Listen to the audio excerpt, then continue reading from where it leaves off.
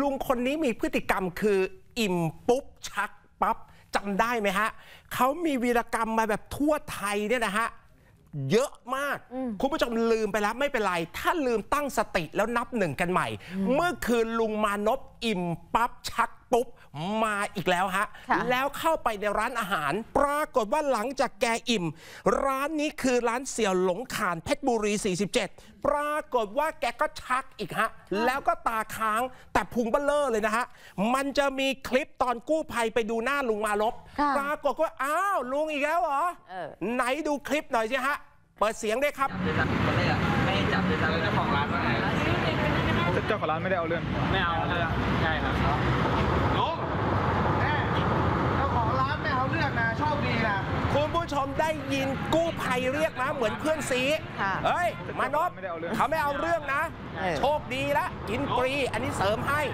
แล้วแกนั่งเหมือนมึนค่ะๆขวามือคือตอนที่แกชัก ตอนมากินร้านนี้เพชรบุรี 47 แกให้ทิปบ่อยด้วย 20 บาท ตอนที่แกลงจากรถแท็กซี่ แล้วแกก็ให้ทิปพนักงาน 20 พนักงานก็เลยอัญเชิญแกเข้าไปกิน ปรากฏว่าพอแกกินเสร็จคุณผู้ชมฮะแกเกิดชักตาเหลือก คือร้านเนี่ยตกใจเพราะร้านไม่คุ้นแต่ว่ากู้ภัยรู้จักกันดี เพราะกู้ภัยทำมาแล้วช่วยชีวิตมานพมาหลายรอบ ก็เลยบอกมานพอีกแล้วเหรอ นี่ฮะ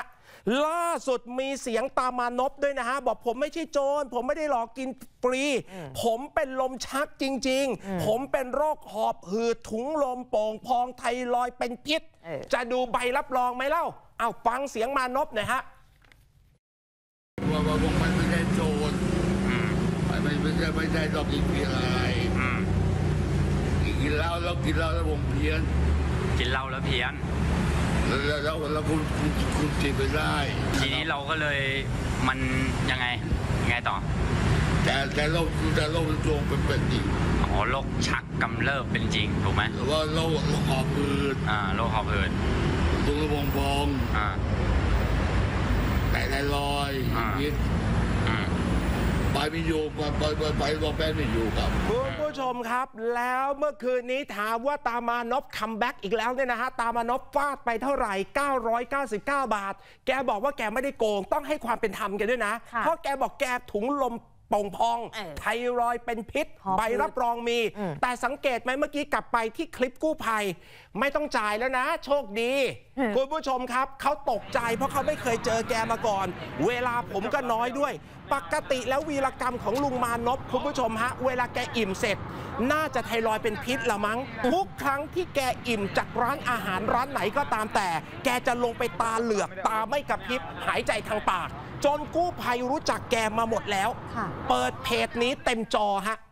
และนี่คือลุงมานพกลับมา comeback คือไม่แน่ใจร้านอาหารจีนแถวนั้นเนี่ยเขาคงไม่ได้ดูข่าวไทยมั้ง เพราะส่วนใหญ่หุ้นส่วนเนี่ยน่าจะเป็นพวกคนจีนนะฮะค่ะเออ ก็ดีลุงมานพไปกินพวกคนจีนบ้างก็ดีนะฮะ ไม่ต้องแวะคนไทยบ่อยเนี่ยนะฮะ เพราะแถวย่านนี้ก็คือคนจีนทั้งนั้นเออที่ลงทุน คนจีนไม่รู้จักตามานพไงเออแต่คนไทยเนี่ยคุ้นหน้า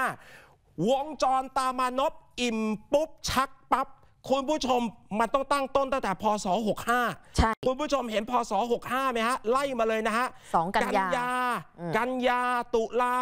65 13ธันวาวนจากซ้ายนะฮะ คุณผู้ชมฮะ แล้วตลบ กลับมาทางขวา จนกระทั่งล่าสุดคราวนี้ไปร้านจีน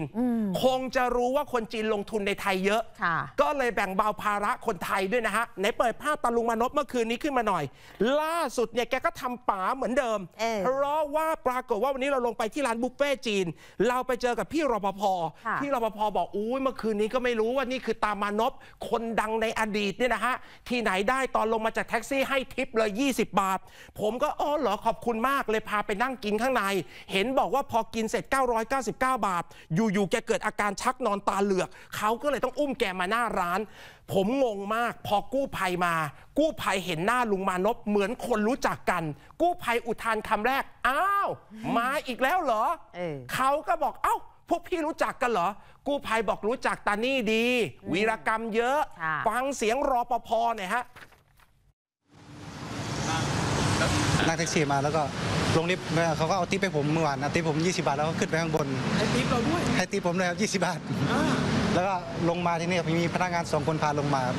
ครับพาลงมาแล้วเมาที่นี่พี่เมาผมก็ไปประคองไปอะไรทีนี้เขาก็นั่งแล้วเขาก็ตกเก้าอี้แล้วก็ทำตาเหลือกทำตาเหลือกแล้วทีนี้ผมก็ตกใจนะผมผมว่าไม่เคยเจอเหตุการณ์แบบนี้ เขาได้ขึ้นไปกินหรือยังฮะขึ้นไปกินแล้วครับ กินเยอะไหมครับแล้ววันนี้ทางร้านอาหารจีนไหนตัดภาพไปหน่อยนะฮะวันนี้ลงไปที่ร้านอาหารจีน ปรากฏว่าพนักงานในร้านเนี่ยเป็นเวียดนามนี่ฮะคนจีนเวลาเขามาลงทุนเนี่ยนะฮะเขาจ้างหลายคนเขาเอาเวียดนามมาเป็นเด็กเสิร์ฟและปรากฏสาวเวียดนามเนี่ยบอกกับเราบอกเอาจริง ไม่รู้เรื่องมาก่อนว่าอิตานี่มันมีเวลากรรมเยอะก็ถือว่าเมื่อคืนนี้ทำบุญไปก็แล้วกัน แต่ถ้าครั้งหน้าลุงมานพจะมาอีกครั้งหนึ่งนะ เดี๋ยวจะกระซิบถามว่ามีเงินหรือเปล่า ถ้าไม่มีเนี่ยคุณผู้ชมฮะแน่นอนที่สุด ร้านก็คงไม่ให้กินแล้ว หูร้านเขาแต่งสวยมากเลยอะใช่ นี่ฮะ ล่าสุดคุณผู้ชมครับกลับมาตรงนี้ สิ่งที่น่าสงสารจำได้เลยว่าเล่าข่าวลุงมานพเด็ดตั้งแต่ปีที่หนึ่งจนกระทั่งปีนี้แก comeback มาเรื่อยเลยเนี่ยนะฮะ คุณผู้ชมเชื่อไหมแกจะมีญาติผู้ใหญ่แกคนเดียวเท่านั้นฮะ ที่ดูแลลุงมานพแล้วทุกครั้งที่ลุงมานพแกลอดโดนจับเนี่ยนะ ตั้งแต่ปีเท่าไหร่นะ 65 65 6667 ป้าแก่ๆคนหนึ่งดูลุงมานพอยู่ มอง ตามานพเนี่ยเหมือนกับเป็นหลาน เราตามไปที่บ้าน เราก็คุ้นบ้านแกแล้วฮะเพราะแกออกข่าวตั้งแต่ปี 65 แล้ว วันนี้เราตามไปที่บ้านของตามานพปรากฏว่าตามานพเห็นบอกน่าจะอยู่ที่บ้าน คุณป้าท่านเนี้ยเป็นคนตามไปจ่ายเงินให้ใช่ทุกครั้งคุณป้าบอกฉันไม่รู้จะทำยังไงกับมันแล้ว มีวิธีเดียวก็คือฉันคงต้องตายก่อน หลังจากนั้นก็แล้วแต่ยถากรรมของไอ้มานพมัน ฟังเสียงคุณป้าท่านนี้หน่อยฮะ เวลาถ้าไปเข้าไปกินนะ ถ้าทางร้านเข้ามาที่นี่หรือเขาโทรมานะ ป้าก็จ่ายให้ทุกครั้งนอกจากป้าไม่รู้เท่านั้นเองถึงไม่ได้จ่ายค่ะคือว่าป้าตามจ่ายบางทีไปโรงพักตำรวจจับไปป้าก็ไปจ่ายที่โรงพักนะครับจริงๆป้าไม่เคยนั่นนะป้าก็ไปจ่ายเขาทุกทีอืมแต่แต่เรารู้สึกยังไงบ้างตอนนี้ที่แกทำแบบนี้เรื่อยๆเลเขายบอกเขาออกจากบ้านเขาก็พอนะเขาก็ไม่รู้อะ ครับประสาทเขาไม่คุณผู้ชมครับ คุณป้าห้ามไม่ได้ เราเคยถามคุณป้าหลายรอบแล้วข่าวเนี้ยเหมือนข่าววนซ้ำนะฮะ แต่พฤติกรรมมานพก็ซ้ำจริง ๆ ป้าบอกว่าทุกครั้งที่ห้ามบอกอย่าออกไปกิน ปรากฏว่าจะทำตาถลึงใส่ป้าแล้วดุด้วย แล้วมานพทุกครั้งเวลากินเหล้าเนี่ยคุณผู้ชมฮะจะออกอาการแบบนี้